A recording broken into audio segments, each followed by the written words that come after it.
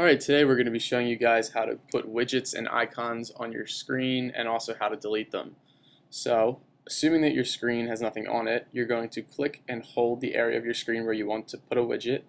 This little screen will pop up and you're going to click on widgets. Now once you do that, your widget list will open up. Now these are some widgets that we have from buying and downloading apps so for the sake of this demonstration, we're going to use Beautiful Home, which is a nice little widget that shows you the, the time, the date, the temperature. So once you click on that, your options will open up. Um, we're just going to keep them the way that they are right now, but you can change them if you want to. You're going to hit Save and Apply.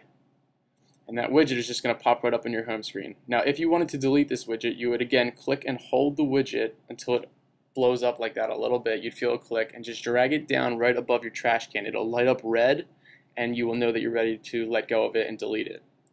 Now getting apps is the same thing. You're going to open up your app list. Ours looks like this because of a new firmware that we're running. You're going to click and hold the app and drag it anywhere you want on your home screen. Let go of it and it sits down. If you want to delete it, you again click and hold it, drag it down above your trash can until it becomes red and then let go.